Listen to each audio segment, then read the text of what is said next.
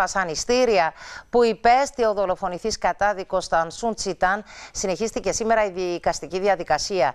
Εγώ είμαι ο Θεός σου, εγώ και ο Δήμιό σου φέρεται να έλεγε ο βασικός κατηγορούμενος στο θύμα, το οποίο εκτός από βασανιστήρια φέρεται να υπέστη και εξευτελισμό της ανθρώπινης αξιοπρέπειας.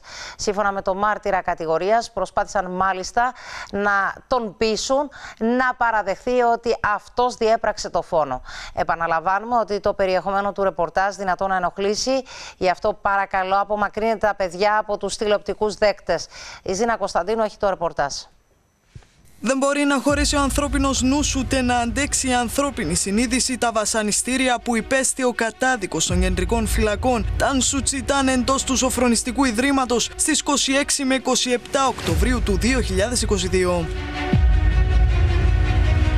Ο μάρτυρας κατηγορίας, ο οποίος εκτύπη φυλάκιση τριών ετών για το ιδεχθές έγκλημα εντός του Σοφρονιστικού Ιδρύματος και ανήκει σε πρόγραμμα προστασίας μαρτύρων, φέρεται να ήταν ένα από τα τρία πρόσωπα τα οποία βρίσκονταν εντός των γελιών 7 και 4 στις 26 με 27 Οκτωβρίου του 2022. Ο ίδιος ανέφερε μάλιστα πως βιντεοσκοπούσε τα βασανιστήρια που έκανε ο Βεϊζή Μπατούρ στον Τανσούτσιταν. Στην κατάθεση μου δεν το γράφει, αλλά θέλω να το αναφέρω ότι εκείνο το χρονικό διάστημα ο Βεϊζή Μπατούρ μου έδωσε ένα τηλέφωνο και με διέταξε να βγάλω βίντεο την ώρα που βίαζε με ένα αντικείμενο τον Τανσούτσιταν. Την ίδια ώρα ο βασικός κατηγορούμενος της υπόθεσης Βέιζι Μπατούρ περιγράφεται ως ο παντοκράτορας των κεντρικών φυλακών. Όταν Σούτσιταν φώναζε πολύ δυνατά από τον πόνο, όλοι τον άκουγαν, αλλά κανένας δεν μπορούσε να κάνει κάτι να το βοηθήσει. Όλοι φοβόντουσαν τον Βέιζι. Δεν μπορεί κανένας να σε πιάσει από τα χέρια μου, ούτε η μάνα μου, ούτε ο Θεός, ούτε κανείς. Ούτε καν οι δεσμοφύλακες, γιατί τους έκανα και αυτούς να σιωπήσουν.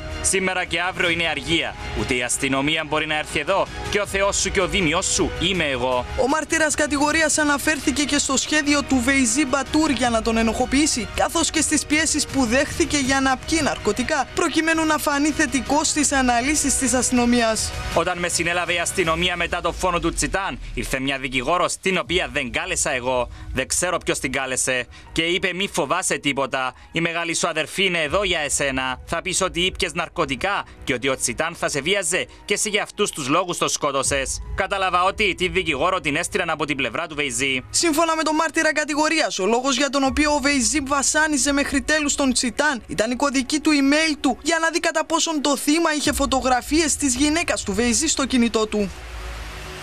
Μόνο με ταυτότητα θα απολούνται στο εγγύς μέλλον καρτοκινητά τηλέφωνα